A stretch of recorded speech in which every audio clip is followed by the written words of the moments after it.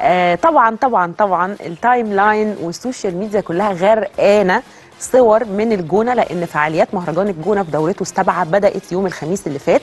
طبعا مفيش حد ما بيحبش يتابع المهرجان ومن وإحنا قاعدين على الكنبة نقعد نقول رأينا في الفساتين وفي ال make up وفي الشعر و و و.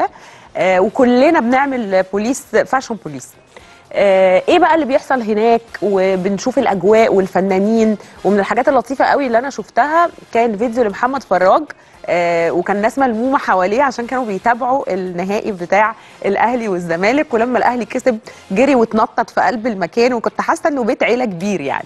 المهرجان السنة دي حضروا نجوم كتير جدا من مصر ومن الوطن العربي والعالم كمان. والملاحظ إن المهرجان السنة دي سيطرت عليه الأجواء العائلية.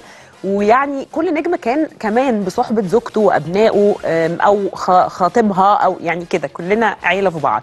المهرجان بدأ يوم الخميس 24 وهيستمر لغاية 1 نوفمبر.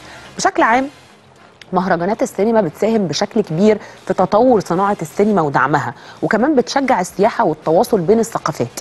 ولازم نحرص كلنا على نجاح النوع ده من المهرجانات عشان بسمع ناس بتقول إيه لازمتها ومصاريف وفلوس ومش عارف إيه. لا لا لا هي حاجة مهمة جدا جدا جدا. وبتحط مصر في حتة كويسة جدا جدا مقارنة بدول العالم كله